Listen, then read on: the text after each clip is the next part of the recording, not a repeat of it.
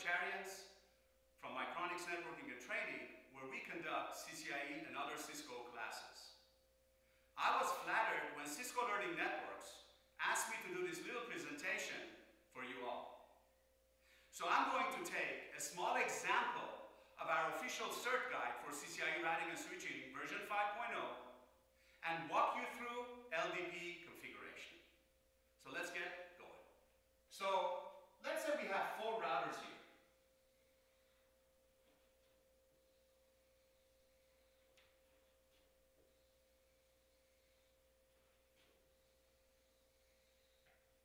So we have R1,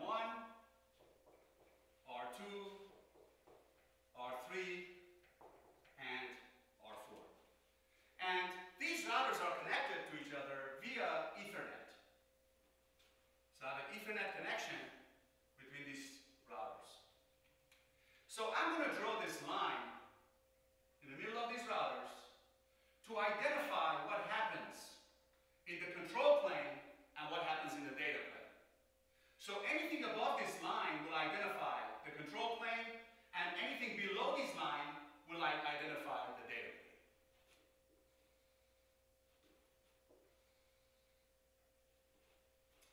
Router 1 has this loopback interface with an IP address of 1.1.1.1 slash 24. And router 1 wants to advertise this prefix to routers 2, 3, and 4. So in order for us to do that, we need a routing protocol. So here we have choices. We can use RIP, EIGRP, OSPF, or even ISIS.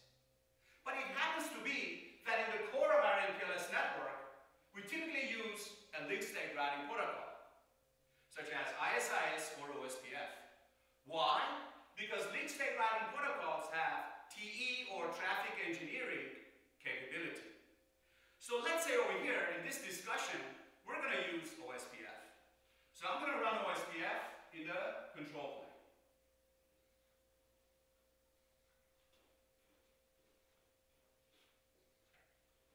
Now, what do for us? OSPF populates the routes in the RIB, routing information base. In this discussion, our focus is going to be on this network and this network only. So OSPF will populate that into routing information base, or RIB.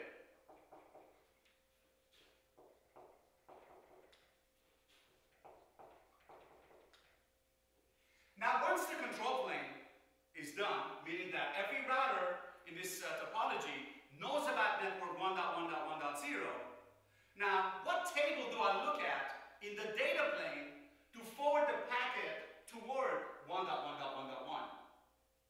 Here, we're going to have to use forwarding information base.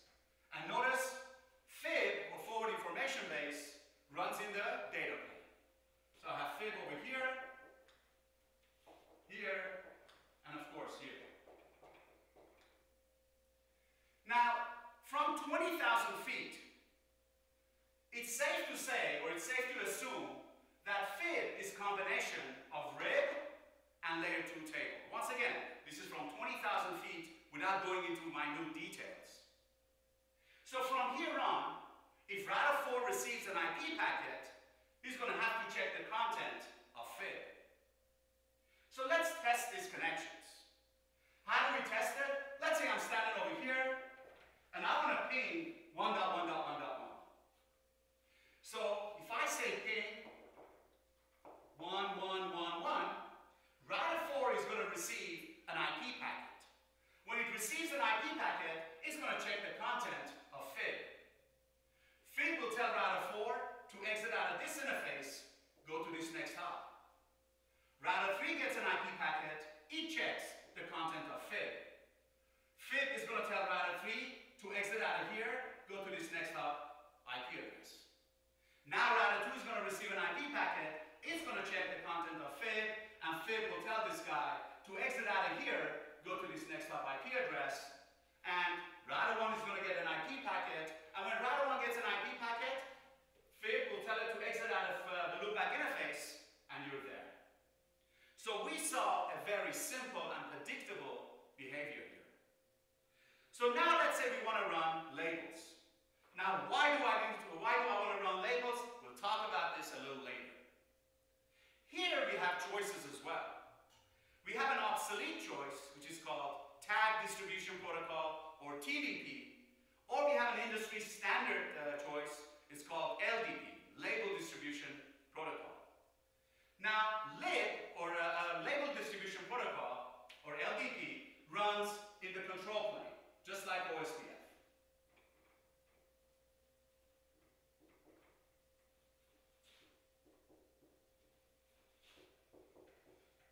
Now, what does LDP do for us? LDP populates the labels in a table called lib, or lib, uh, label information base. Now, this guy, LDP, will do a route table lookup, and it would originate, it would assign a label to each and every route it sees in the routing table. Then what it'll do is, it'll uh, take the IP to label binding and it will put that binding in a special table called lib. Label information base.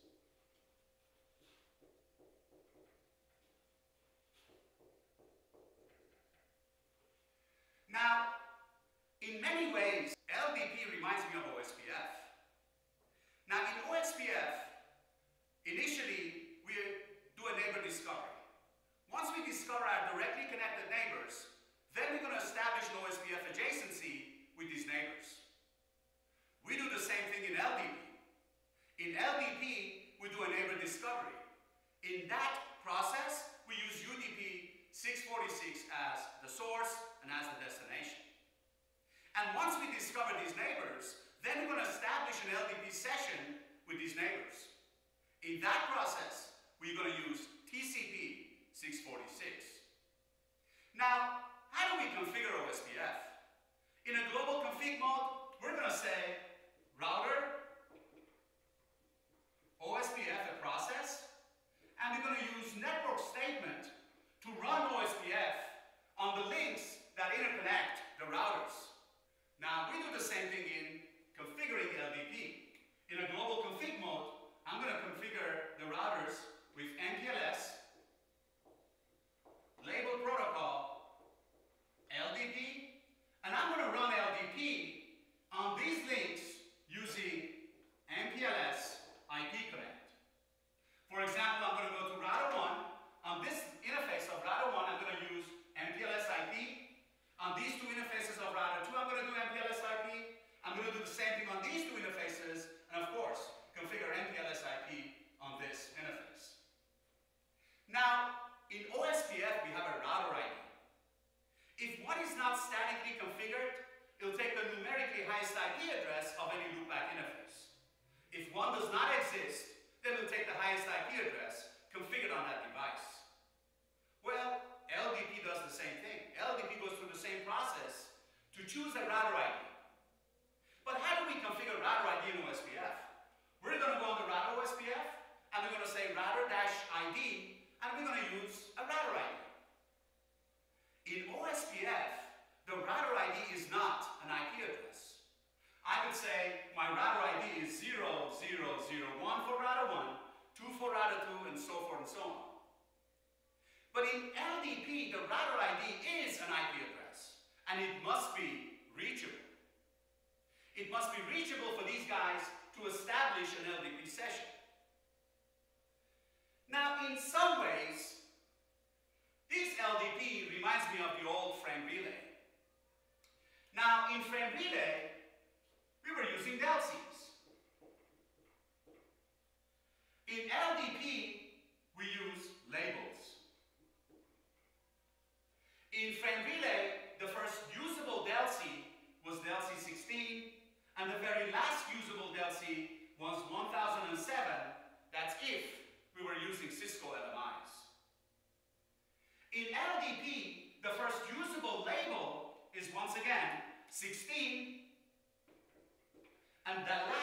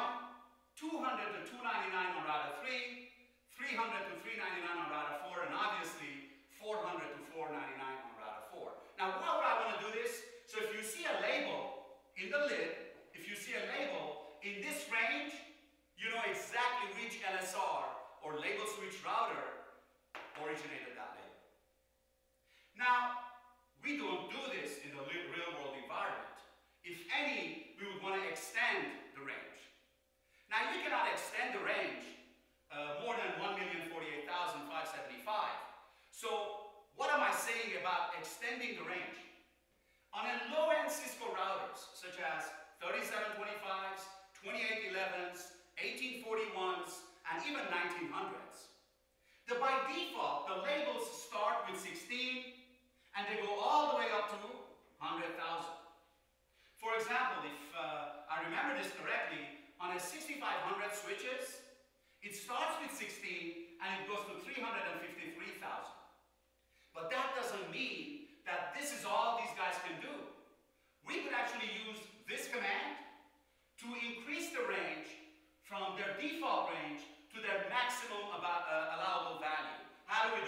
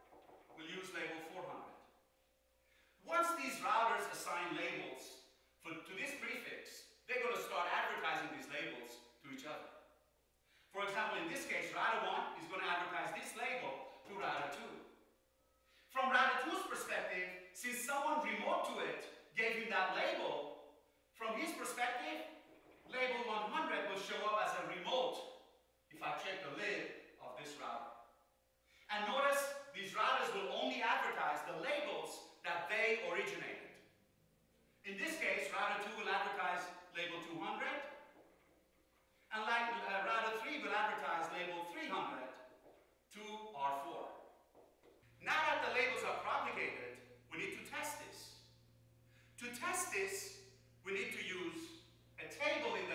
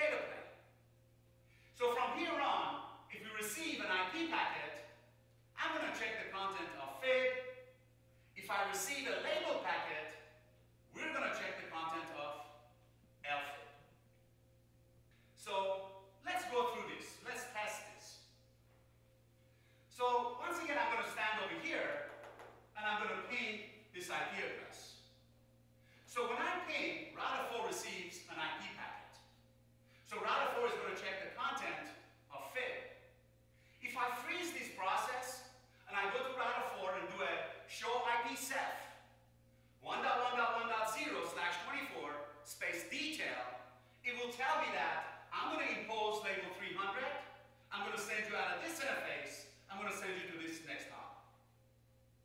So now, what we have is an IP packet that came in, now it's going to leave as a label packet. So when router 3 receives a label packet, it's going to have to check the content,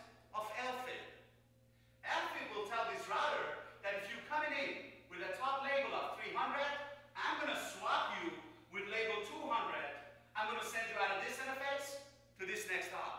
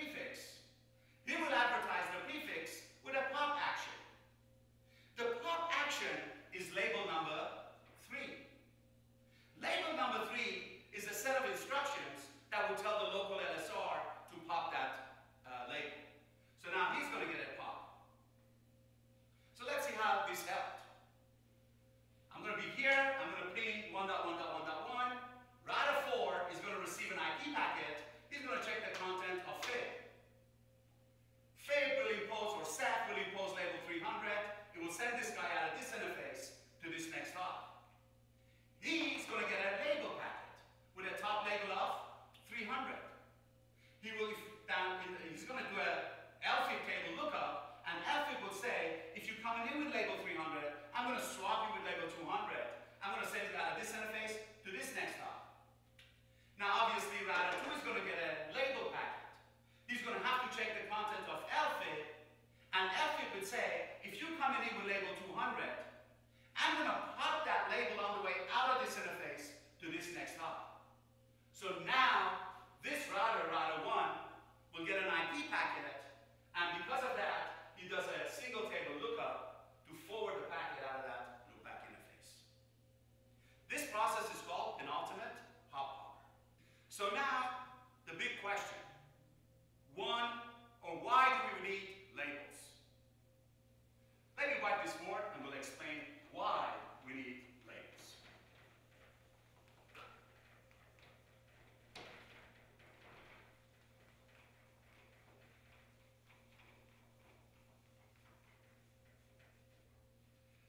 we have three routers here.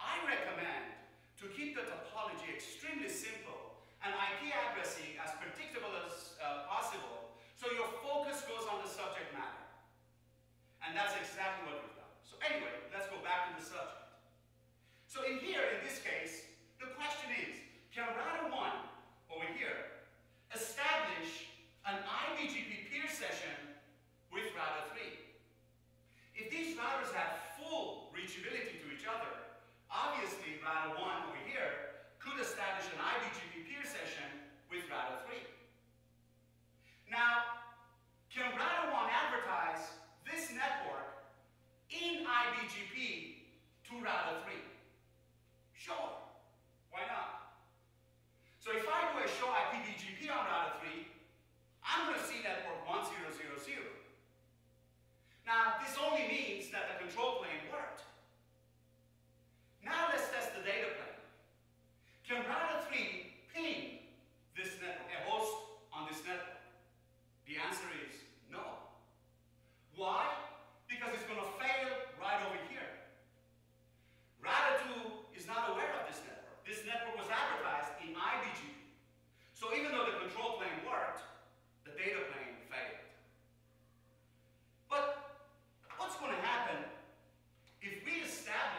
she already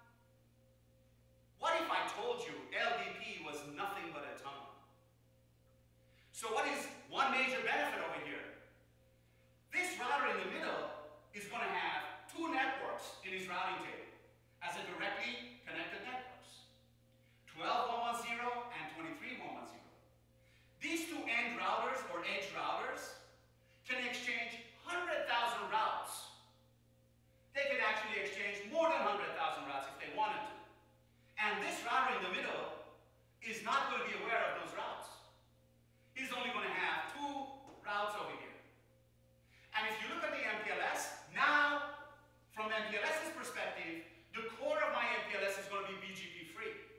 So what I've done is, by establishing this connection, my muscle routers, my beefy routers are pushed to the edges, and the core router is sitting there just doing label swapping. Now, I know that this was a short discussion, but if you need to learn more about MPLS, I suggest that you pick up a copy of our official certification guide for CCIE routing and switching version 5.0 because in that book we have more detailed information about LDP or even MPLS and other topics.